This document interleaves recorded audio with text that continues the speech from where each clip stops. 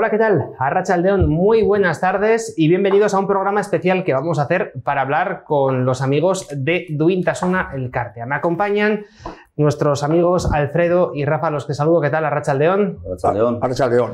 Hoy venís a hablar de muchas cosas, vamos a hablar de pensiones, vamos a hablar también, por supuesto, eh, de cómo está la situación actual respecto a las pensiones, pero antes vamos a hablar de un acto que habéis organizado para el próximo lunes, arranca el próximo lunes, es una marcha ciclista, es la segunda eh, vez que os vemos ¿no? con una marcha ciclista de estas características. Se va a celebrar en toda Euskal Herria, parte el próximo día 13 a las 10 de la mañana desde el Boulevard y llega también a Donostia el día 25 de junio después de haber recorrido pues, diversas localidades de Euskadi. Si os parece, comenzamos con esto. Mm, esta marcha que bueno, tiene como objetivo reivindicar unas pensiones dignas. Sí, eso es. Eh, bueno, la finalidad de esta primera marcha del movimiento de pensionistas de Euskal Herria es la finalidad de, de la marcha ciclista será despertar en la ciudadanía la conciencia sobre los objetivos planteados, extender la ilusión en el movimiento pensionistas en un ambiente de fiesta popular y alegre, Junto a la marcha organizaremos eventos y actos, por supuesto teniendo en cuenta a los movimientos y agentes sociales de cada zona. Estamos viendo, por cierto, imágenes de la que se organizó el año pasado en Guipúzcoa. Sí. Algunas imágenes de una marcha ciclista que, bueno, eh, fue además eh, una actividad muy bonita, ¿no? Que, que además tuvo éxito. Pues sí, eh, por eso se ha vuelto a apostar por esta reivindicación y tal yo creo que es muy importante de que la gente se tenga que dar cuenta de una vez ya de, lo que nos está cayendo y, lo que viene, y lo que viene detrás.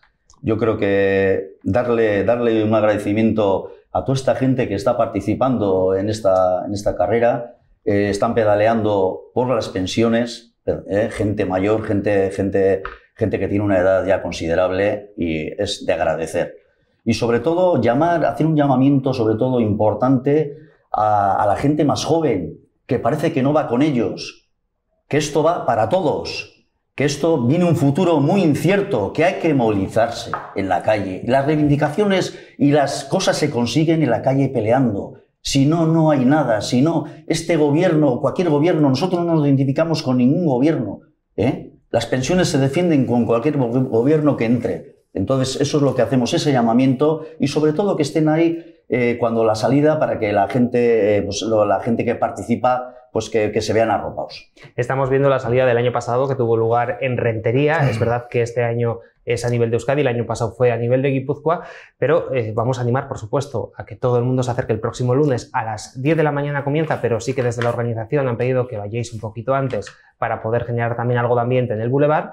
Y, por supuesto, el día 25, el día en el que vuelva otra vez la marcha a la capital guipuzcoana, también hay que estar presente porque a las 12 del mediodía va a haber una manifestación también reivindicando unas pensiones justas. Alfredo, que más de una ocasión habéis reivindicado aquí que mínimo tienen que ser de 1.080 euros. Sí, sí, eh, mínimamente 1.080 euros y 1.200, 1.200 euros los jornales. Eso siempre estamos diciendo y ese es el lema principal. Acá hay otros temas importantes. Claro, ya todo no se soluciona con el dinero. También la salud es importante. Que de eso podemos hablar luego un poquitín, porque lo que está cayendo también con la salud vaya tela marinera que tenemos encima ahí. ¿entiendes? Entonces las pensiones, pues hay que seguir peleando y en eso estamos. E incluso ahora, pues ya, ya sabéis que se ha llevado al, se ha ido un, han ido un, unas plataformas de Guipúzcoa y de otros pueblos al Parlamento, al Parlamento Español, a Madrid, para que no aprobarían la ley de la ley, el que retirarían el proyecto de ley para el fomento de, las, de, las, de los planes de pensiones y de empleo. Eh, hemos hablado con unos compañeros que han estado allí en Madrid y nos han dicho que, que la han pasado para adelante, que no, no, la, no, la, no. la, que no, no, la aprueban, o sea, que la aprueban, mejor dicho. Esto vamos a recordar que es un proyecto de ley que facilita la privatización, al menos de una parte importante Efectivamente. de las pensiones. Eso a nosotros nos perjudica un montón las pensiones. Entonces, eh, porque hay unos artículos que, nos, van a, nos van a llevar a la ruina, como nos están llevando ahora a la ruina. Es el caso, por ejemplo, que nos está metiendo el IPC, que también estamos indicando el IPC, pero el IPC es real. Si suben 10%, nos tienen que subir las pensiones el 10%. Y que se deje de cachondeo, que ya está bien, que está la gente ahogada, que no pueden comprar cosas, eso no les importa. Aquí luego dicen que miramos por las personas. Eh, ¿Qué clase de personas estáis mirando? Por la gente de tu partido y esas cosas, vamos a ser sinceros de una vez, que llevamos un montón de años con la misma historia, que así no se puede resistir, que salir a la calle, como dice mi compañero, toda la gente, que las van a pasar canutas, canutas, que nosotros al fin y al cabo ya estamos en la vuelta a la esquina ya. O sea que, ya sabéis, poneros a, a tanto que vienen gordas. Por cierto, hay que recordar que las pensiones han estado pagando con deuda en los últimos años y es que el Banco Central Europeo desde el año 2012, si no me equivoco, ha estado imprimiendo billetes como si fueran confeti y hemos estado pagando las pensiones con el dinero del mañana. Ahora en el mes de julio ya han dicho desde el propio Banco Central Europeo, Christine Lagarde ha dicho que deja de comprar y España en concreto, que es el país que nos ocupa, pues va a tener una situación muy complicada y lo primero que van a recortar, ya lo han dicho además, no es que lo diga yo, han dicho que las pensiones fuera, que hay que recortarlas, que es algo, por cierto, que también ocurrió en el año 2015 en Grecia, que les bajaron en torno al 40% las pensiones allí. Por lo tanto, Rafa, el futuro que se avecina es un futuro negro y hay que luchar, como bien decías. Pues sí, es un futuro muy, muy negro, muy negro. Eh, lo hemos vuelto a decir muchas veces en las concentraciones que hacemos los, los, primeros de mes y tal, que hacemos en los pueblos y tal. Estamos viendo, por cierto, imágenes de las que hacéis en Rentería. Sí. Y, el primer lunes de cada mes a las 11 de la mañana. Y lo hemos vuelto a decir, lo vamos a recalcar que es que, que, hay que moverse, que hay que moverse, que no, no nos queda otra que, que, salir a la calle y reivindicar lo que, lo que nuestros padres habían conseguido y que se fue todo al garete, se va al garete. Entonces es necesario de que, de que empiece la gente, la gente, la, la, gente de atrás, que empiece, que empiece ya a espabilar, a espabilar. Porque es que, es, que, es, que, es que no nos queda otra, no nos queda otra. Eh, sí me gustaría decir eh, un poquito el tema de, del movimiento de pensionistas de Euskal Herria. Se están recogiendo firmas, firmas se están recogiendo a nivel de, de Euskal Herria y a nivel de Estado. Entonces, eh, quienes suscribimos este, este texto, firmándolo, le solicitamos a todos los miembros del Congreso de los Diputados que den los pasos legislativos necesarios para garantizar para el 2022 y años sucesivos el poder adquisitivo de las pensiones, realizarlas en función del incremento del IPC real, el IPC acumulado anual, tal como se veía haciendo antes de la reforma del 2011, y compensar la pérdida del 3% del poder adquisitivo pensiones en el 2021, garantizar que no haya pensiones por debajo del umbral de la pobreza, eliminando la brecha de género en salarios y pensiones y aumentando la pensión mínima hasta equipararse al sueldo mínimo interprofesional. Y este situarse en el 60% del salario medio, como recomienda la Carta Social Europea. Garantizar pensiones públicas dignas, justas y suficientes y el carácter público de ese, del sistema de pensiones derogando los recortes de la reforma del 2011, 2013 y 2021 y rechazando la privatización, eso en mayúscula total o parcial del mismo bajo de cualquier fórmula. ¿eh? Y esto lo apoyan diferentes eh, organismos de pensionistas del Estado, más el movimiento de pensionistas de Euskal. Por cierto, hablabas de la privatización y es que hay mucha gente que efectivamente ha confiado en el pasado ¿no? en estos planes de pensiones privadas, pero la experiencia nos ha dicho que son planes de pensiones, primero, que una persona que está trabajando con los salarios actuales no se puede permitir. Es decir, eh, un trabajador medio que puede cobrar mil euros al mes no puede permitirse, tal y como están las cosas, y en una ciudad como Donosti, por ejemplo, mucho menos, tener un dinerito para ir ahorrando en estos planes. Y además son planes con los que está perdiendo dinero a largo plazo, porque no rentan nada y cuando llega el momento de utilizarlos, te ha quedado bastante menos de lo que te hubiera quedado si ese dinero lo hubieras guardado tú en la cazuela de casa. Eso es un engaño, un engaño. Hombre, a ver, cuando estamos en contra de privatizaciones, pasa una cosa, a ver, resulta que nosotros eh, nos descuentan, eh, la, ¿cómo se llama esto? Cuando se hacen el, las cotizaciones. Las cotizaciones, sí, nosotros estamos cotizando continuamente. Resulta que ahora, con las cotizaciones a nosotros, estamos perdiendo, como te he dicho antes, poder adquisitivo. Luego, eh, cuando están las empresas que están cotizando a, hacer la declaración de la renta, resulta que le están descontando menos que a nosotros, que a los trabajadores. ¿Cómo se entiende eso? ¿Qué pasa ahí, pues? Lo de siempre. Estamos pagando lo de siempre, el dinero. ¿Por qué no, no recuperan el dinero que dieron a los bancos? Aquellos 60, ¿cuánto duró? 60 mil, 60 mil millones, que, se, que se dejó a la banca. ¿Qué pasa con ese dinero? que reinviertan en la seguridad social, que metan en las pensiones. Resulta que, ahora, público. resulta que ahora las pensiones, las pensiones de orfandad y viudez les van a pagar un tanto por ciento. Porque no son, no son las cotizantes. Resulta que una viuda que ha cotizado a su marido no va a poder cobrarse dinero. Porque no es cotizante. Claro, efectivamente. ¿Qué pasa ahí, pues? Claro, lo que estamos viendo aquí una vez más es que es marketing, ¿no? Vemos esos titulares tan rimbombantes en los periódicos en los que el político de turno, y me da igual, el partido político te dice, no, estoy con el pueblo, estoy con los jubilados, Sí, sí, estoy con los trabajadores. Y luego cuando lees la letra pequeña de cualquier ley que publican, lo que te encuentras es que hay trampa o que, bueno, sí, te descuentan un impuesto por aquí, pero te suben otro y es lo comido por los servidos. Es que, a ver, el problema que tienen estos, a ver, a nosotros nos catalogan a los pensionistas como inútiles. Como no producimos, según ellos no, no damos beneficio. Entonces, como no damos beneficio, ahí nos dejan.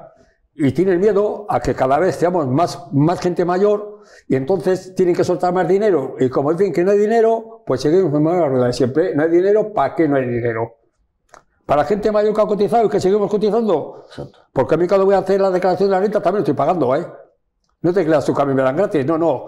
Y lo que te he dicho antes, O incluso cuando compras cualquier artículo, porque Oh, está el IVA. claro, y eso es un claro, del que exacto. no te puedes escapar. Claro, joder, por eso Correcto, mismo estamos diciendo sí, que, sí. que el incremento salarial tiene que ser con respecto al IPC.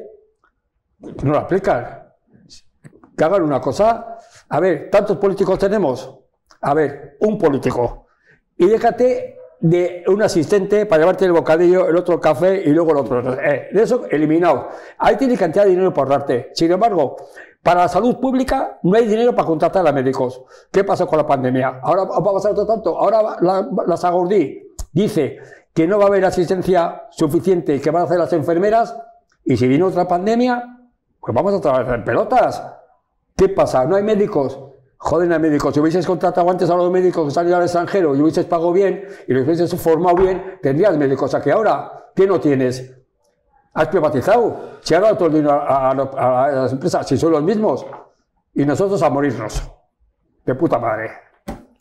Pues la cosa está complicada. Además, a micrófono cerrado, bueno, me habíais comentado que tenías, Rafa, algunas cifras que querías Sí, contar. sí, he creado unas cifras de las entidades bancarias y eléctricas, lo que han obtenido en el año 2021. Pues adelante. Pues bueno, eh, me parece escandaloso eh, cuando nos están exigiendo, nos están recortando a los pensionistas y a los trabajadores y trabajadoras de, este país. Eh, las entidades bancarias están, han obtenido en el 2021, pues el Banco Santander tenemos eh, 8.124 millones. E Iberdrola beneficios 3.886 millones. Banco BBVA 4.653 millones. CaixaBank 5.226 millones. Cuchabán 216 millones con algo más. Eh, Laboral Cucha 108. Caja Rural 9. Bankia 5.226. Banco Sabadell 530.000. Abanca 100.000. Unibanco 137.000. Endesa, las eléctricas, que nos están asando. Porque están diciendo que hay que recortar, hay que recortar. Y nos están asando a la ciudadanía. Con impuestos, con subida de, de- luz, la gente no llega a final de mes. Es una auténtica vergüenza. Y después tenemos Endesa, 1.435 millones. Red Eléctrica, 680.000. Naturgas, 1.124 1.114. Eh, Natu- perdón, 1.231. Y Resol, 2.499. Con estas cifras, encima nos están exigiendo. nos- no se les cae la cara de vergüenza. Y aparte son empresas que en teoría son privadas, pero son Exacto. empresas que se acuestan con el gobierno todas las noches. Y Exacto, cuando exacto, legislan, exacto. legislan siempre Eso muy es, amiguitos. eso es. Entonces, esto es escandaloso ya, escandaloso. O salimos a la calle de una vez todos en banda, o salimos todos de, la, de, una vez, de una vez por todas a la calle en banda, pues nos van a asar por todos lados. Y la gente no se está dando cuenta de todo esto. La gente, la gente que tiene un futuro negro, no, lo siguiente. Tiene que la gente que espabilar, que hablas, estamos cogiendo firmas y todavía oyes a gente, le, le- dices las causas que estás recogiendo, ¿por qué recoges esas firmas? Y todavía te dicen, no te voy a firmar. Alucinado. Bueno, ya sabemos lo que ocurre en este país, que el pan y circo de toda la vida, ¿no? El fútbol, para eso sí, como te quieren un partido, el Barça Madrid al día siguiente tiene las calles llenas. Los estadios pero, llenos. Efectivamente, efectivamente. Eso, eso es lo lamentable. Vamos a recordar toda la gente que nos está viendo ahora mismo y que quiera participar. El próximo lunes, día 13, vamos a tener esa vuelta ciclista que, bueno, el año pasado tuvo tanto éxito. Fue en Guipúzcoa, este año lo habéis ampliado. Tenemos el cartel, ahora lo estamos viendo en imágenes, es el, cartel una vuelta ciclista que va a recorrer varios municipios de Euskal Herria. Va a empezar en Donostia, como decimos, el próximo lunes día 13 a las 10 de la mañana sale del Boulevard, pero desde la organización, tal y como hemos indicado, recomendaban estar un poquito antes pues, para generar ese ambiente, un poquito de marcha, un poquito de movimiento. Y luego otro día importante también, el día 25 es el día en el que finaliza esta marcha ciclista llegará al Boulevard hacia las 12, que es el momento en el que empieza la manifestación que también está convocada para ese mismo día a las 12. Vamos a recordar también para la gente de la comarca del Vidasoa y de Aldea, que son las dos zonas donde nosotros eh, emitimos, eh, que el día 24 llegará la marcha a Irún, es donde termina la etapa del día 24 y el día 25 por la mañana sale de Irún pasando por todos los municipios que hay entre Irún y entre Donostia, pasar también por Rentería eh, para poder llegar a la capital guipuzcoana y hacer esa fiesta final, que aunque sea una manifestación también, bueno, pues intentaremos que sea un poco festiva, ¿no? Tal y como decíais también, eh, va a haber música, va a haber ciertas Sí, actividades eso es, sí, que sí, también eh, tienen que animar un poco, que no sea todo, todo gritar un poquito de alegría, porque si no nos volvemos locos también, ¿no, Rafa? Sobre todo, sobre todo agradecer a la gente que va a participar en esa marcha, gente, gente que ya tiene sus años considerables y es de agradecer a esa gente. Sí, es que tienen, tienen un valor, Un tienen un valor valor enorme, tú. enorme, pedaleando por las pensiones, Sí, sí. pedaleando por las pensiones. Sí, que hay que, hay, que, hay que aguantar y dormir como están durmiendo en un saco de dormir a la noche. Exacto. Y luego, pues, gracias a los colectivos que hay en los pueblos que están dando de comer. Y si no, eso, hemos sacado una rifa para paliar los gastos, efectivamente, porque claro, eso supone un montón de pelas que hay que, que pagar. Megafonía, coches, permisos, oye, un dineral. Pero en fin, a ver, nosotros estamos dispuestos a seguir para adelante, vamos, hasta que aguantemos aquí un poco más, seguiremos peleando, no hay más. Y, No hay y- más. y recordamos precisamente ahora hablando de pelea que Duintasuna en concreto es eh, una asociación que todos los primeros lunes de cada mes se junta en la plaza del Ayuntamiento de Rentería para reivindicar, eh, bueno, precisamente es unas pensiones justas y además antes de cada acto siempre hay una pequeña lectura de cómo está la situación actual de las pensiones, las reivindicaciones eh, que tenéis en ese momento concreto, habláis también de la actualidad para que la gente que se acerca también pueda entender algo que generalmente, pues bueno, no está en las televisiones ni en las radios y que tienen que conocer. Luego hacemos la manifestación que solemos hacer también por todo el pueblo y solemos, solemos recorrer el pueblo también y tal. Bueno, eh, de todas formas no nos, no nos podemos quejar si mantenemos esa cantidad, ¿no, Alfredo? ¿Eh? Sí, no, sí, o sea, la gente Eh, colabora bien, más. es consecuente con lo que están haciendo y entonces, bueno, Sí. ahora que empezamos a hacer más actividades, pues claro, con eso la pandemia también bajó un poquitín. Mucha gente se retrae, gente mayor, y cuesta un poquitín recuperarlas. Otros han ido, otros estamos aquí, entonces todo eso pues pesa, pesa, pesa. Pero bueno, hacemos lo que podemos, ¿eh? No, no es poco. no nos podéis pedir más a los jubilados que andamos con muletas ya casi, casi. tú. Que, que sepa- que sepan estos políticos que nos van a tener en pie de guerra ahí. Nos van a tener en pie de guerra. No vamos a bajar la guardia ni una pizza. Así de claro. Pues Alfredo, Rafa, muchísimas gracias por Bueno, haber estado con ti. nosotros Sí, a vosotros por, Y- por dar información. y mucha Sí. suerte con esta marcha que seguramente va a salir estupendamente. Vale, sí, Vale, iremos de marcha. Claro que sí. Nosotros cerramos aquí este programa especial y ya lo saben, el próximo lunes, día 13 a las 10 de la mañana, salida de esta marcha ciclista desde el Boulevard y otro día importante, el día 25, día en el que la última etapa sale de Irún, llega a Donostia y a las 12 desde el Boulevard manifestación. Un abrazo, hasta la próxima.